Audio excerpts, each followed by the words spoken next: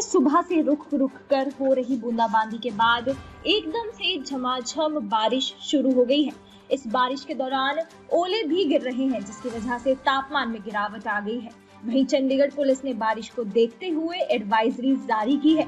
Police ने लोगों को अपने वाहन स्लो चलाने, दूसरे के वाहन पर पानी न छिड़कने, आगे वाले वाहनों से दूरी बनाए रखने और पार्किंग लाइट ऑन करने जैसे सुझाव दिए हैं। पहाड़ों में बर्फबारी होने की वजह से मैदानी इलाकों में बारिश के रूप में इसका असर दिख रहा है।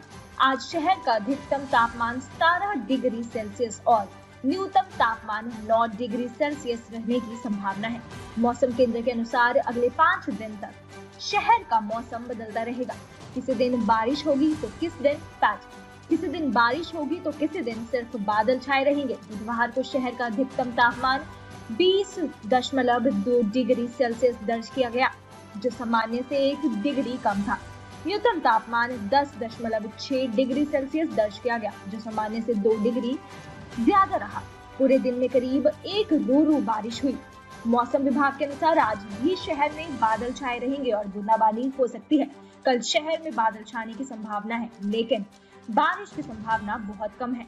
दिन में हल्की धूप निकल सकती है। इस दौरान अधिकतम तापमान 19 डिग्री सेल्सियस और न्यूनतम तापमान 6 डिग्री सेल्सियस तक दर्ज किया जा सकता है। खराब मौसम के चलते शहीद भगत सिंह इंटरनेशनल एयरपोर्ट से बुधवार को सात फ़्लाइट को रद्द करना पड़ा।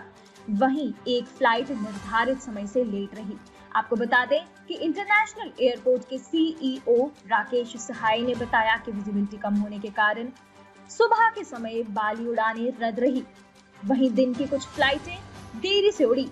रद्द होने वाली उड़ानों में दिल्ली, मुंबई, जयपुर और लखनऊ की उड़ानें रही और देरी से उड़ने वाली उड़ानों में हैदराबाद, दिल्ली, लखनऊ, चेन्नई, बेंगलुरु, मुंबई, गोवा, जयपुर, श्रीनगर, अहमदाबाद और कोलकाता की उड़ानें शामिल हैं। वहीं विजिबिलिटी कम होने के कारण आज भी सुबह सात बजे तक कोई भी उड़ान नहीं उड़ पाई।